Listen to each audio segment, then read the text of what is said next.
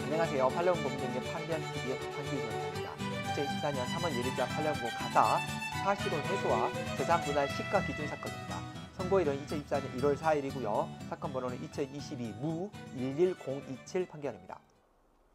사건은 사실혼 파기에 따른 위자료 그리고 원고가 있고 피고가 이제 상고를 했죠. 파기 환송됐습니다.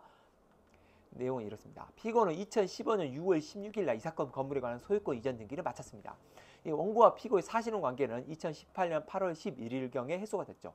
시작은 언제인지 알 수가 없습니다. 판결에 나오지 않기 때문에.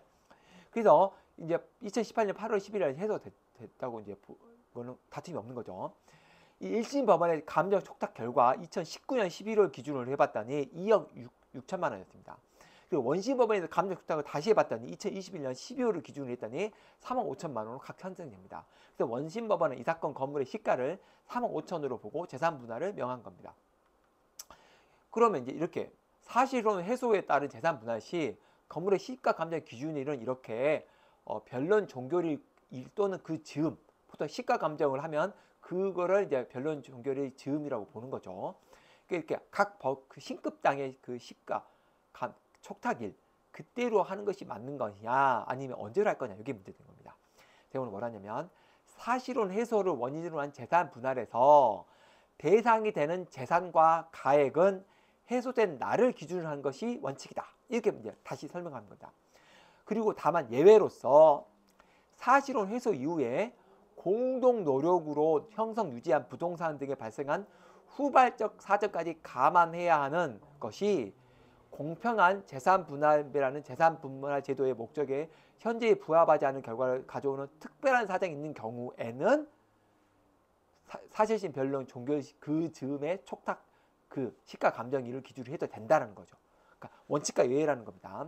그런데 대법원이 보기에 이 사건에서 이런 특별한 사정에 대한 심리도 없이 해소된 이후의 사정까지 감안해서 변론 종결을 즈음으로 잡은 것은 위법하다는 것이 대법원의 판단인 거죠.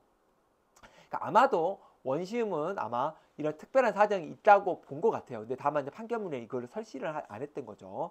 그리고 아까 말처럼 이 사건은 사실혼이 언제 시작한지도 알 수가 없습니다. 그래서 아마 사실상 공유 재산일 가능성도 크기 때문에 결론적으로는 맞을 수도 있습니다. 그렇지만 대법원이 보기에는 특별한 사정이 있는 것, 원칙과 예외를 지금 원심이 잘못 보고 있는 것 같다.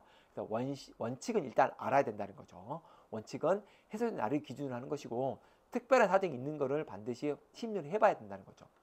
그래서 결국 이 사건의 건물의 취득 과정에서 원고와 피고가 어떠한 노력을 하였는지 여부는 구체적으로 나오지가 않습니다. 다만 대법원의 이 판결에서 말하고 있는 것은 재산 분할 제도의 원칙상 해소 시의 재산과 과액에 대하여 분할하는 것이기 때문에 해소 이후의 사정을 감안하려면 별도의 특별한 사정이 있어야 된다는 것을 밝히는 거죠. 그래서 특별한 사정이 없다면 해소 시 그 된날을 기준으로 한 시가 감정을 해야 한다는 거죠. 이 사건을 보면 1심에서는 2억 5천, 2심에서는 3억 5천 이렇게 있기 때문에 해소된 날 2018년 기준으로 하면 더 낮았을 가능성이 큽니다. 어쨌든 이 감정 기준 일은 매우 중요하기 때문에 원고와 피고가 이렇게 다투고 있는 거죠. 이상 마치겠습니다. 감사합니다.